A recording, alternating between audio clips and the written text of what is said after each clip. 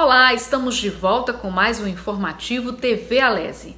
No início dessa semana foi divulgado o protocolo sanitário para a retomada das aulas presenciais em Aracaju. As escolas particulares estão autorizadas a reabrir a partir da próxima segunda-feira, dia 18 de janeiro, seguindo todas as medidas de prevenção ao novo coronavírus. O protocolo estabelece sete medidas institucionais de segurança sanitária e outras seis medidas individuais de segurança sanitária. Entre essas medidas para evitar a disseminação do novo coronavírus estão o distanciamento social a limpeza e desinfecção dos ambientes, uso obrigatório de máscaras e o controle de temperatura.